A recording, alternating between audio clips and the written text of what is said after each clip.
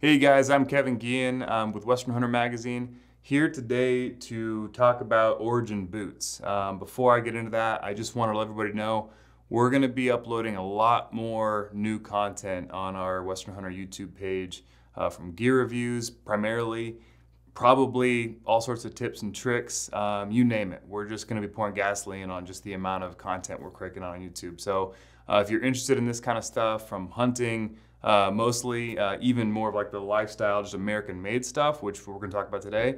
Subscribe to the page. Uh, we'd love to have your your your eyes and ears on this stuff. So um, today, talking about American made boots. Um, I honestly, I think most of our audience here, kind of like me, I love boots. I wear boots all the time. Um, we've mostly talked about hunting boots on the YouTube channel here, or even just in our magazine.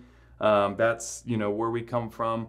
But you know, you can't wear hunting boots 365 days out of the year. A lot of times we're either we're working or we just like to wear a nice looking leather boot uh, in the office. So these caught my eye. I mean, if you're a hunter, you've probably seen a lot of the marketing that Origin's been doing.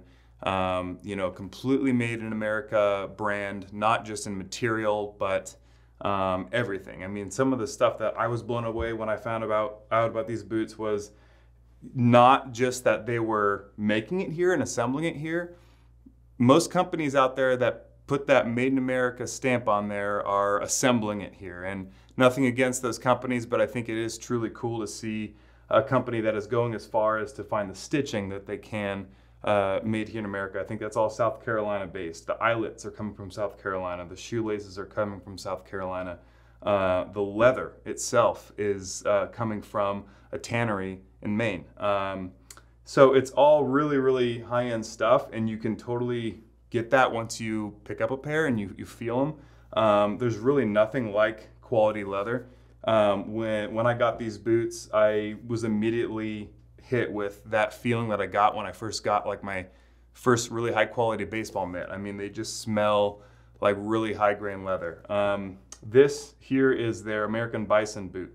It has the uh, Christy Natural sole, um, and then this is the Coronado boot um, with the mini lug.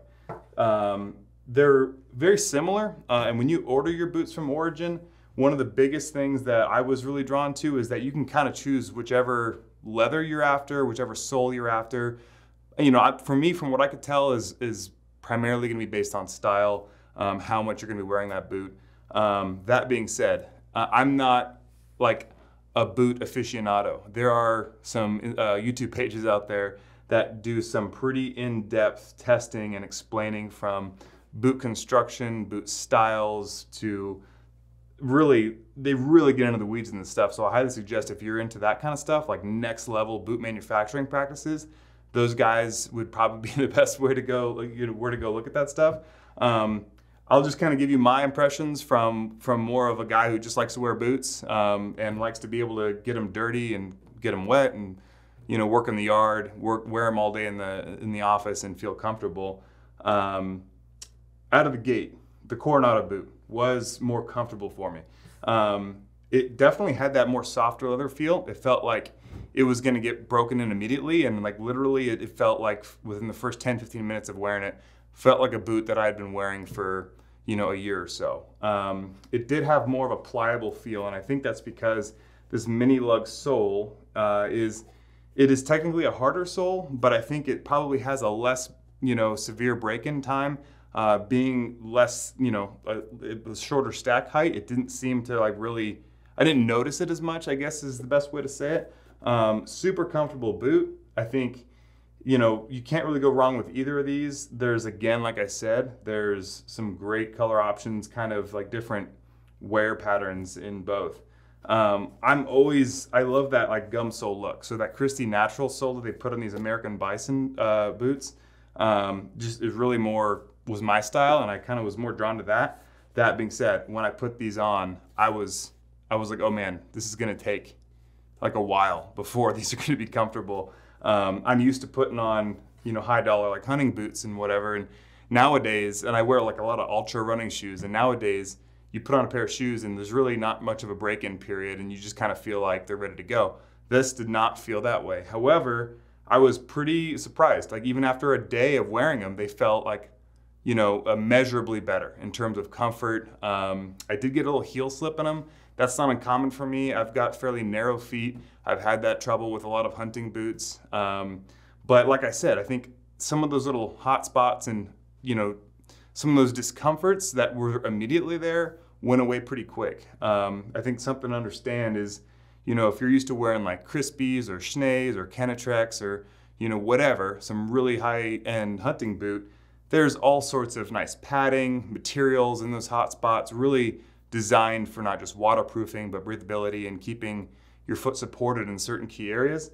Um, a boot of this nature isn't really the same. I mean, it's leather, man. There's just not much to it. It's really this very like rugged, uh, somewhat primitive. I mean, there's a lot of design into this and a lot of uh, engineering when it comes to how they're stitching all these lines together and how they're constructing the midsole uh, to the upper to, to the sole. Um, so I don't mean like it, there's not thought put into it, but the upper, and I think that's what a lot of people are really drawn to, is just this really nice, high quality piece of leather. Um, the Coronados, they do have more of a waxy uh, leather. It's a wax finish. Um, so both of these boots are water resistant, not waterproof. So that's, you know, I, I don't think there's many guys that are going to be taking this mucking through a pond and thinking that they're going to be good. But, you know, I say that, and as soon as I say that, some guy's going to comment on this video and say that it's not waterproof and you lied to me. But that's not the case. These are water resistant, not waterproof. Um, so, you know, I've only worn these for about two and a half weeks now. And one of the things that I'm really looking forward to, what I've already noticed, is this distressed look that's kind of starting to appear on the leather itself. That's going to change over time. The more I wear it, the more I scuff it up, the more I just use them, they're going to kind of take on their, their own distressed look. And I think there's a lot of character in that, and especially when you're talking about, you know, real leather, um, especially American bison leather. It's a really, really cool. I mean, every cut of this is unique. Um, you know, you're not going to see any two boots that are going to be identical because this is real American bison. This isn't, you know, mass produced. I highly suggest that if you guys are interested in these boots, go take a look at, you know, some of the content that they've put together on the Origin website. Um, not just in terms of the boots. I mean, there's some pretty fascinating boot construction stuff. I really kind of got into a wormhole of understanding Pacific Northwest style of manufacturing boots uh, all the different nail techniques versus glue and stitch, it's kind of next level. And I didn't realize like there's a whole like category of, of, of boot guys uh, really interested in this stuff, and I think it's super cool. Um, but on, on the other side, I think one of the things that's really important here is just to understand what Origin is doing from a manufacturing standpoint. Um, you know, not just using American-made components uh, or even not even just making these all by hand by American hands. Um, what they're really dedicated to and committing to is also finding those industries, all you know, those raw material sources in America that are struggling. You know, perhaps going extinct and reviving them, restoring those places. Like for instance, one part of this boot, which is the only component of this boot that is not made in America, is the midsole. This is a complete uh, leather midsole. Um, something like 99% of midsoles in all boots, um, at least of this style, that are leather are produced in South America. Um, they're not settling with that. That's what they're using because that's what's available, but they're actively trying to revive and restore um, that part of our American supply chain so they can make a truly 100% you know manufactured uh, American-made boot. Um, but you know that's I think that's just kind of where the transparency is really valuable. I really appreciate that. I think there's a lot of smoke and mirrors out there when certain companies hang their hat on American-made. Um, there's more to the story, and when companies are really taking the time um, and being honest about how it's done, I think that's that's really important. Um, so yeah, I you know, long story short, these are great camp boots. I mean, you can hunt in these boots, even doing like some upland hunting. I think I, I'm probably preaching the choir. There's probably a ton of guys out here who are just like, yeah, sign me up. I wear boots all the time, whether it's Red Wings, Danners, or what have you. Um, if you're looking for a new pair of boots this year, I highly suggest giving Origin a look and thinking about spending your money with um, an American company.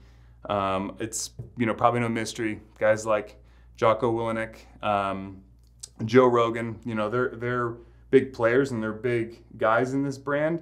Uh, especially Jocko, he's co-owner of this brand, um, and so there's there's a lot of character behind it, a lot of merit, and I you know I think in terms of value, there's a lot of places now, a lot of boots I found while I was kind of researching this, where you're finding boots that are 100 to 200 dollars more.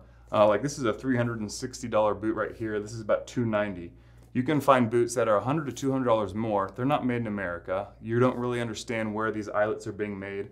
You're not going to see the, the the people that are constructing these boots, um, and you'll probably get them a lot quicker. Um, but there is some time in these things because everyone is made to order. They're not mass producing these things. They're not making them by bulk. It's first in, first out in terms of order and production. Um, so you got to be patient. But I think that's you know part of our society that I think we're kind of getting away from is disconnecting you know quality with convenience and uh, and price. So um, anyhow, Origin boots. I think they're they're really awesome so far. I mean, I'm really looking forward to wearing them for years to come, and I, I really don't have any doubt that they're just going to look better and feel more comfortable as it uh, as it goes. So I hope you guys think these boots uh, are as cool as I do. Uh, if you don't, I guess I don't really care. But uh, if you do, um, subscribe to our channel. Like I said, we're going to be really taking on a lot more YouTube content, reviews, uh, tips and tactics, and, and, loading them and sharing with you guys. Um, this is a great example, these boots here, of I mean, it's just we thought they're cool. I think they're cool. It's, they don't advertise with us. They don't sponsor our, us in any way. Um, we just figured, you know, if we think they're cool, there's probably a handful of guys out there that do as well. So, you know, yeah, there's going to be some reviews and stuff from people you see in the magazine or on the TV show um, because they do make some pretty cool stuff. But there's probably going to be some stuff that come out of left field. Um, if you guys have any questions, comments, critiques, or ideas of things you'd like us to uh, review, um, let us know in the comments. Uh, please subscribe. It's the best way to stay in tune with what we're doing. Um, and we'll talk to you next time.